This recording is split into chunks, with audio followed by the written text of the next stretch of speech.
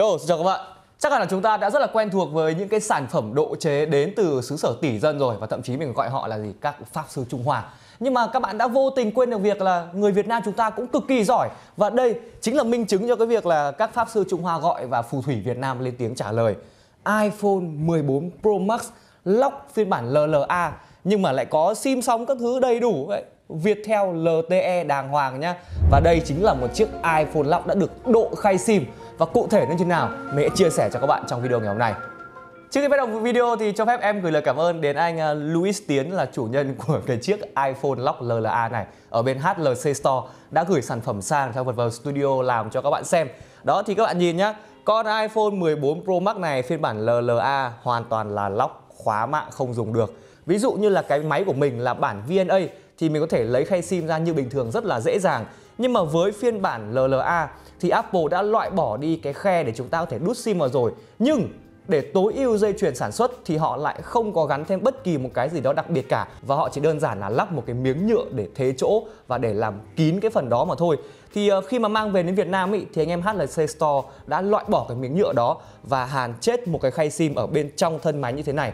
Tuy nhiên là các anh em ở bên HLC Store lại không chọn cách là ờ, uh, CNC một cái khe để chúng ta có thể đút sim vào mà nếu như các bạn đã thả cái sim vào đây rồi ấy, thì chỉ có cách là đóng máy lại và dùng như bình thường thôi. Thì sau khi mà đã có khay sim và lắp sim Viettel các thứ vào rồi thì mình thấy rằng là nó dùng bình thường. Nó không khác gì một phiên bản là iPhone lock hàng Mỹ của những năm trước đây cả. Các bạn dùng hoàn toàn là ngon lành. Và đương nhiên rồi, muốn dùng một con iPhone lock như này thì chúng ta bắt buộc phải dùng sim ghép. Còn đâu nếu như mà không có khay sim ý, mà các bạn dùng một con iPhone lock hàng Mỹ thì SE sim vào gần như là điều rất là khó khăn ở thời điểm hiện tại.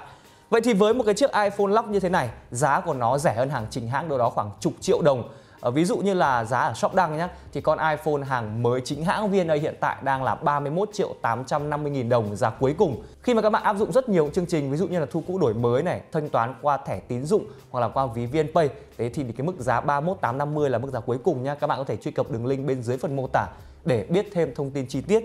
Thì cái con lock LLA này của mình ý, giá của nó chỉ loanh quanh khoảng 21 22 triệu đồng mà thôi. Vậy thì lý do tại sao chúng ta vẫn không nên mua những cái phiên bản iPhone lock như thế này? Mình sẽ kể cho các bạn một vài lý do sau. Về vấn đề bảo hành ý, thì các bạn cũng biết rồi đúng không? Thì mình sẽ không nhắc lại nữa. Mình sẽ kể cho các bạn ba lý do mới như sau.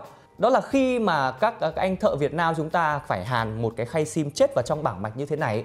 Điều này có nghĩa rằng là cái chiếc iPhone của chúng ta đã bị tháo ra và nó không còn là một cái iPhone nguyên vẹn nữa. Vậy nên là nó có thể bị ảnh hưởng Ví dụ như là khả năng kháng nước chẳng hạn. Đặc biệt là nếu như ai đó mà có CNC cắt một cái khe để chúng ta có thể đút sim vào Đó thì cái việc kháng nước này nó còn bị ảnh hưởng nhiều hơn.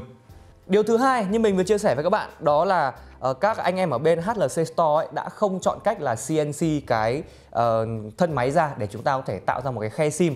Điều này dẫn đến cái việc là gì? Mỗi lần mà các bạn muốn thay sim ý, là các bạn phải tháo tung toàn bộ máy ra như thế này đó, lộ rất là nhiều các cái linh kiện và điều này thì thực sự là quá phiền phức. Ví dụ như là các bạn muốn đổi máy chẳng hạn, đúng không? Hoặc là sim, các bạn có vấn đề gì đó, đã là sim ghép mà các bạn lắp thêm một cái sim vật lý nữa vào thì kiểu gì là trong quá trình sử dụng nó cũng xảy ra một vài những cái vấn đề ngoài cái sự mong muốn của chúng ta.